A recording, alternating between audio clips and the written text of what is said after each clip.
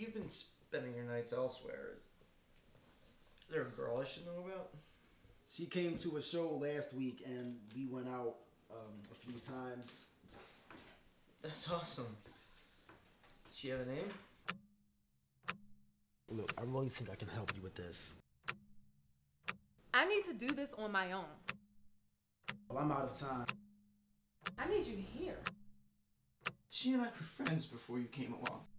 Bruce, I'm sorry.